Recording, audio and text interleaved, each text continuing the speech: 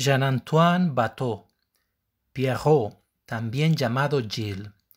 Gilles o Pierrot, típico personaje de la comedia del arte, no aparece solo.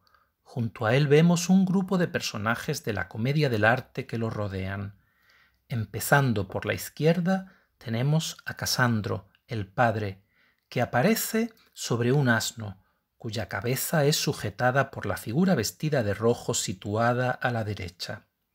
En la zona derecha de la composición vemos a Leandro, que lleva un gorro en forma de cresta y que encarnaría al enamorado, a Isabel, la joven, y al elegantón, que en teatro simboliza a los diversos maestros del infortunado Gilles.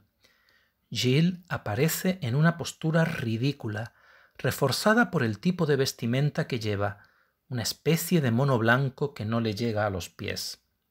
Las mangas de la blusa aparecen remangadas, y el hecho de tener los brazos pegados al cuerpo fomenta más aún el estatismo del personaje, concebido más como marioneta que como ser humano. Notas 1. Al llevar los pantalones cortos, advertimos inmediatamente en las zapatillas que lleva el personaje con dos lazos rojos que hacen juego con la indumentaria del elegantón. 2.